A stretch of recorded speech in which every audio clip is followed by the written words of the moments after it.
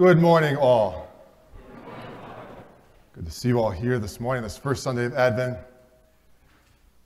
Jesus says, Be watchful, be alert, for you do not know the day nor the hour when the Son of Man will come. Be watchful, be alert, for you do not know the day nor the hour when he will come. But let's just suppose that we did. Let's suppose that all of us here were, for however it came about, this is a, a question just to ponder, like, what if we actually knew the day and the hour and the exact time? And here's the time. It's going to be Monday, December 4th at 5:07 p.m. About a day and a half from now. And all of us in this room are attuned to this great secret that nobody else knows, but for however it works, we know the day and the hour. What is going to be the next day and a half looking like for you? Now, to put this in context, what is it that we're attuned? What's the secret? What is the second coming? Well, to kind of put it in perspective, we believe with divine and Catholic faith that Jesus Christ, just as he came into the womb of Mary, and was born of Joseph and Mary in a little stable, will come again. We pray in the creed with a dogmatic faith. It's not just a, an opinion, a preference, a thought process. It's the dogmatic teaching of the church that Jesus Christ, the Son of the Father, he will come again, we pray in the creed, to judge the living and the dead, and his kingdom will have no end. And when he comes again, he will come with great glory. Before he came in, in a hidden way. The second coming of Jesus, he will come in great glory, and all will see him. He will come on the clouds with myriads of angels, and he will come to judge the living and the dead, the sheep and the goats. It'll be the definitive end. And it'll be the resurrection of the body. Like all the millions and millions of people that have ever lived and died, they will arise from the graves, and their souls will be brought back with their bodies. That is the second coming. And that will happen. And Jesus says, We know not neither the day nor the hour. But the, the question is like, well, what if we did? And it's Monday, December 5th, 4th, at 5.07 p.m. Just making sure you're all awake. What's the next day and a half look like for you? What are you gonna, what are you gonna do? What are you thinking? Jack, what are you thinking? What's the next day and a half going to look like for you now that you, you know this is coming, the, the, end of the world, the judge of living and the dead? What, what, are you, what are you thinking about? What are you going to do? Good. I'm going to pray more. yes. Jess, thoughts? Probably go to Mass. Yeah, I probably will too, I think. Yeah, no, seriously. Folks, any thoughts here? What, what is the day? What's that? Confession. I thought you said fishing. Confession. Interesting. Somebody else. Okay, that's first things first. That's right. Uh, somebody else said something back here. Rejoice. Why? He's because he's coming. Do you think that that's a majority opinion? Probably, probably not. But praise God, it's yours. Anything else? Like, practically speaking, like what's your, you going to cancel anything? What are you, what are you, are you going to drive somewhere? Yes, sir. Just continue on to live, hopefully. Amen. If you're doing the right thing, yes. Actually, did you read that saint book? It was, it was a disciple of St. Ignatius of Loyola who was asked that same question. Ignatius, St. Ignatius asked him, He's like, What are you going to do if the Lord was coming tomorrow? And He said, I would continue planting the garden. That was a man who was living profoundly in the will of God. He was not in fear, like, well, I'm doing already the Lord's work. I wouldn't do anything different. But perhaps it might not be a majority opinion. I asked this question uh, to the, some of the Mass servers a couple days ago at Daily Mass. I'm like, we are just in the sacristy. I wasn't thinking about the homily at all, but it was a really just fruitful discussion. I'm like, well, what are you going to do? And one of the servers said, yeah, I'm, I'm going to make the best freaking confession I've ever made and then I'm going to spend like 12 hours in adoration. Someone at the 8 a.m. Mass this morning, just a couple of hours ago, said, I'm going to tell some people We don't know, we do not know the day nor the hour. But what if we did? And those are the things I think heighten the sense of what Advent is about. Because if we were to put into two basic camps of the kinds of things that we're thinking about, about if he's really coming in a day and a half from now, there's probably, at the end of the day, there's like two basic patterns of what we're thinking. There's things, a great many things, that were quite relevant to our life up until now that are totally irrelevant. Taylor Swift is going to come to the next Kansas City Chiefs game. Totally irrelevant now that Jesus is coming. the Minnesota Vikings on December 10th are going to play the Raiders at 3:05 p.m. Quite relevant up until now. Now, it's not happening. There's going to be a whole number of things like all the things that would kind of consume a lot of our attention, not even per se sinful things, but just things like I have a hair appointment. What does my hair look like? What kind of style do I want?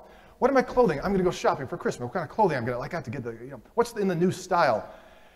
Totally irrelevant things if the Lord is truly coming. A lot of list there.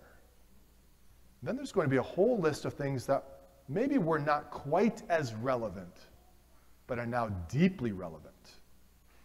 Confession, Mass, prayer. Personally, oh, I have a whole host of things. And it actually has been a reflection for me about like, what would I do?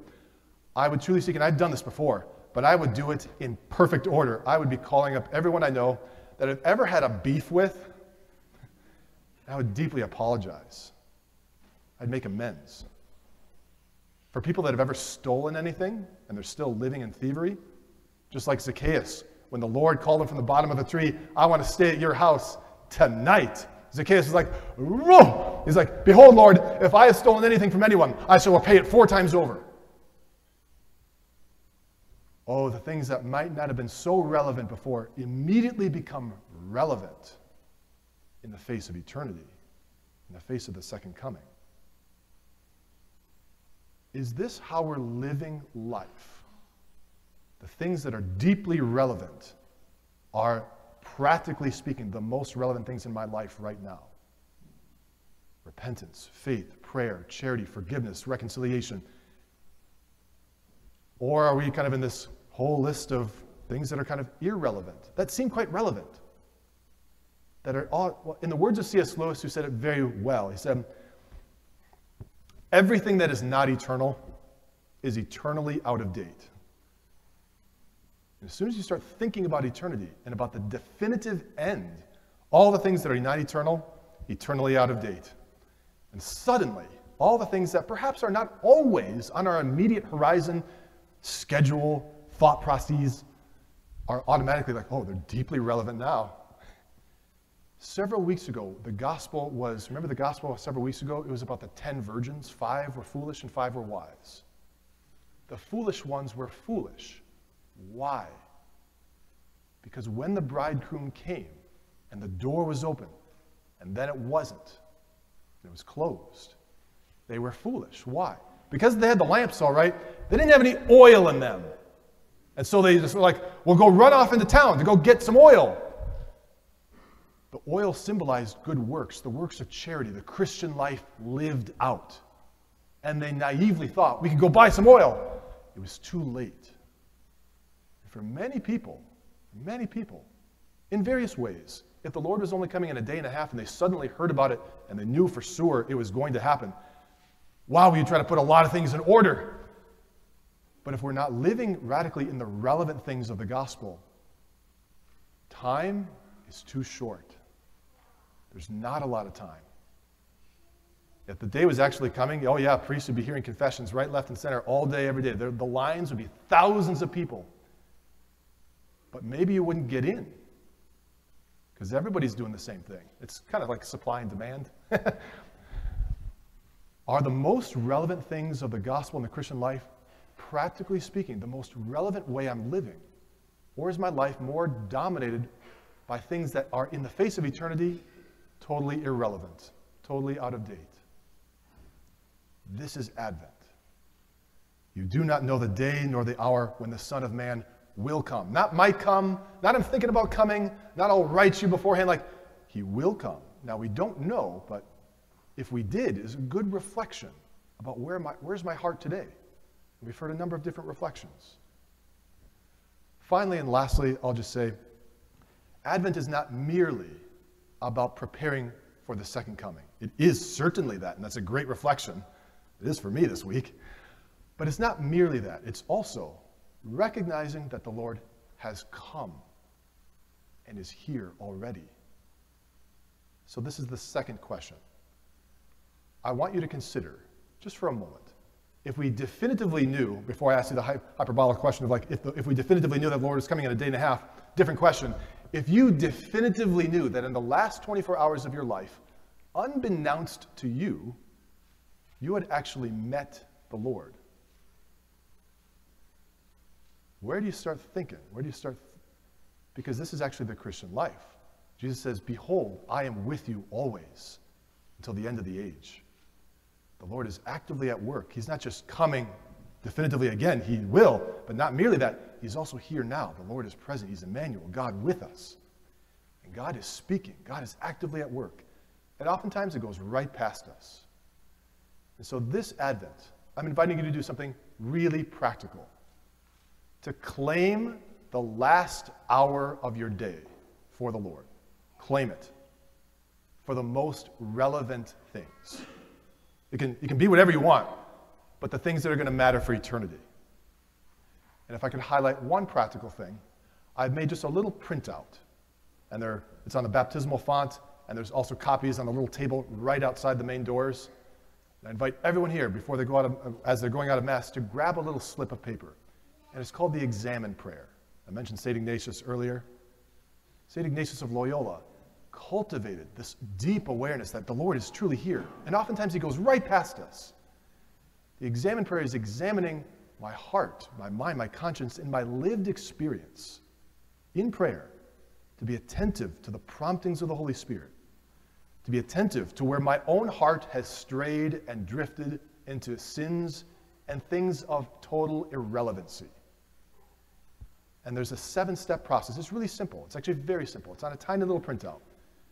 And I'm inviting everyone this Advent season to claim the last hour of their day. That doesn't have to be all prayer, but claim it. And perhaps as part of that last hour, you take 10 or 15 minutes to pray with this examen prayer. I think this might just change your life. I don't I really think it will. Because life always changes definitively when we start living for things of eternity. And those start to become more dominant. As we go into this Advent season, let's make it different from last Advent. Because the Lord is new today, unlike yesterday. He's new today. He's doing new things. And we don't just want to live in a frenzied fear of now of what's to come. We want to live, as some of you already said, in peace. Because I'm, I'm really seeking to do what the Lord is asking me to do today. I'm looking forward to it, as someone said back there. That's what we want to live in this Advent. Not heightened fear, frenzy, anxiety. I'm planted in the Lord. My heart is awake and vigilant and attentive to the most important things, the things that are relevant to eternity. Amen?